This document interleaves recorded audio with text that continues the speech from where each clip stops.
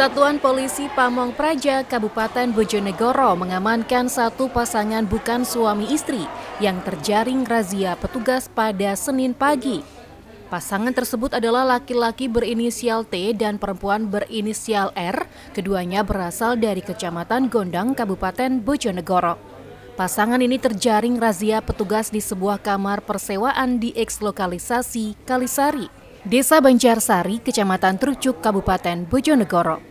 Keduanya diamankan lantaran kepergok tengah berada di dalam sebuah kamar yang mereka sewa dengan harga Rp50.000. Ketika diperiksa petugas, masing-masing pasangan tidak bisa menunjukkan buku nikah.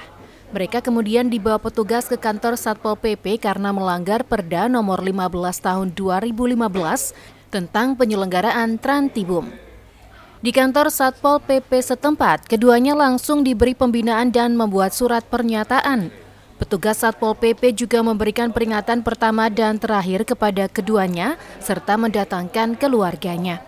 Jika diketahui mengulangi perbuatannya, maka pasangan ini akan dilakukan sidang tipiring. Jadi tadi pagi pasca apel pagi saya mendapatkan laporan bahwa ada pasangan bekas suami istri menyewa kamar di X lokalisasi Kalisari. Setelah itu kita tidak lanjuti bersama satu regu dan satu PTI ternyata benar di sana ada salah satu tempat yang dipakai sewa menyewa. Terus uh, masing-masing warga alasan mereka apa nih waktu di sana? Ya mereka tujuannya cuma satu untuk apa? Untuk berbuat yang tidak senonoh.